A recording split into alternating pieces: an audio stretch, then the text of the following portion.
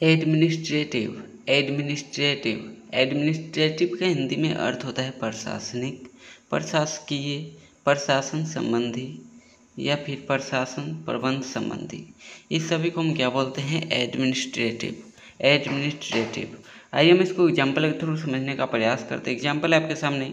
The country was chopped up into small administrative areas यानी कि देश छोटे छोटे प्रशासनिक क्षेत्रों में बट गया। है दूसरा एग्ज़ाम्पल है आपके सामने।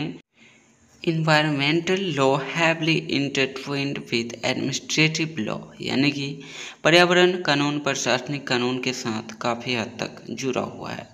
तो आई होप आपको ये एडमिनिस्ट्रेटिव के हिंदी में अर्थ और इसके यूजेज आपको क्लियर हो गया होगा।